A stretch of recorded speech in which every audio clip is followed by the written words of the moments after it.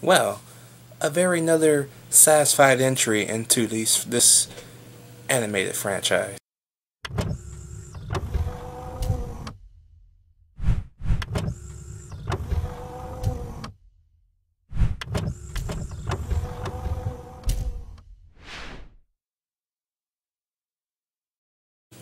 Superman Batman Apocalypse. And as you can tell by the title, you know who's going to be involved in this movie. So, in this story, a meteor falls to Gotham City and lands in the harbor where Batman goes to investigate. And a little young girl comes out of it, and she has powers similar to that of Superman. Okay? Batman doesn't trust her, but Superman comes along and finds out that she is his cousin, Kara from uh, Krypton, of course. Sorry about that. and Darkseid finds out about this and sends people down, his minions down, to get her so he can use her for his own evil doings. Okay? And Batman Superman, however, have to train Kara via uh, Themyscira, where Wonder Woman comes into play, and that's where Darkseid comes and attacks, sends his minions to attack via Doomsday, a bunch, a bunch of Doomsday minions, okay, like clones, if you will, and the big battle ensues. This movie is awesome, okay. Of course, it is the sequel to Superman Batman Public Enemies, but I mean, you wouldn't really think so because the animation styles are completely different from the last animation style. So you wouldn't guarantee it a sequel.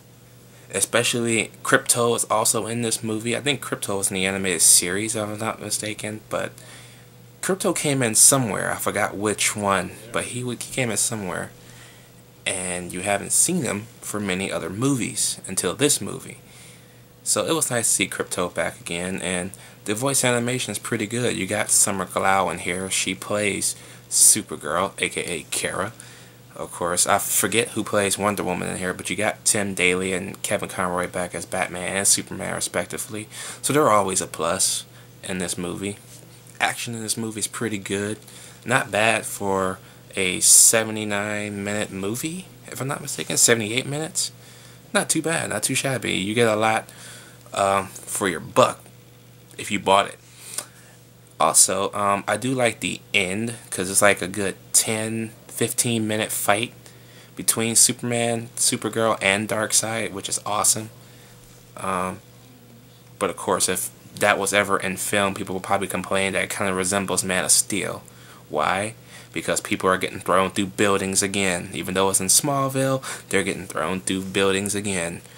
People are good at complaining about stuff like that. I don't know why, but okay.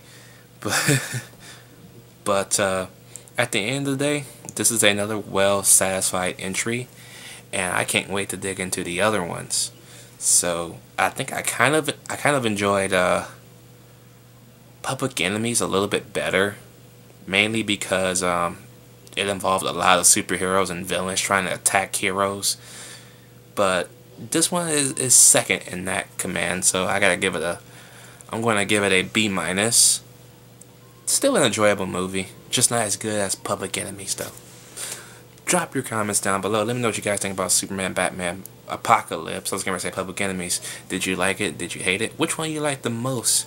Uh, Public Enemies or Apocalypse? Let me know and I'll catch y'all later.